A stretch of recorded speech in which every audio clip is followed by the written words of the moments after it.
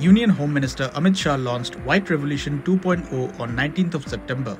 It is aimed at revolutionizing India's dairy cooperative sector, creating jobs and empowering women farmers. Minister Shah emphasized that women are at the heart of the dairy sector with many already driving businesses worth 60,000 crore rupees in Gujarat alone. This new initiative will further empower women farmers while also addressing the nation's fight against malnutrition. Likewise, the government has set an ambitious target to increase milk procurement by dairy cooperative societies by 50% over the next five years. This will benefit dairy farmers across the country, especially in rural and uncovered areas. The initiative also includes setting up and strengthening 100,000 new and existing cooperative societies, including primary agriculture credit societies.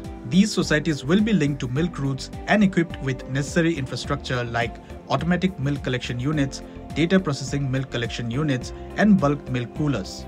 The National Dairy Development Board will initially fund this program, providing 40,000 rupees per MPSCs to 1,000 cooperative societies with full budgetary support from the government.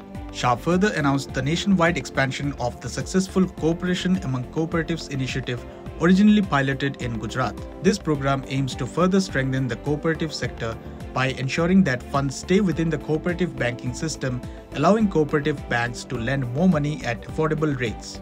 As part of White Revolution 2.0, Shah launched the nationwide distribution of RuPay Kisan credit cards for dairy farmers, along with the installation of micro ATMs at dairy cooperative societies. Dairy farmers will receive interest-free cash credit through RuPay Kisan credit cards. This move will essentially bring banking services to farmers at dairy cooperative societies, making financial transactions easier and more accessible.